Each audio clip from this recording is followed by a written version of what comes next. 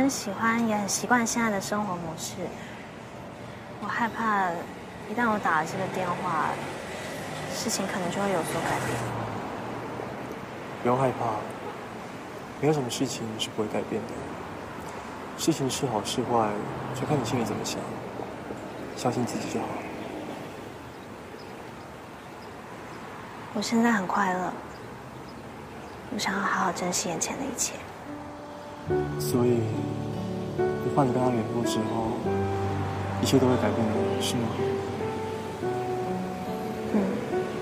如果你真的很重视这一切，那就像你说的一样，好好珍惜现在。但如果事情改变了，那其实也未尝不是往前啊。也许也是快乐的一种，只是跟你现在想的方向有点不一样。不管你的选择是什么，我都会支持你。希望你真心的开心、幸福。真好。我说过要对你很好的。谢谢。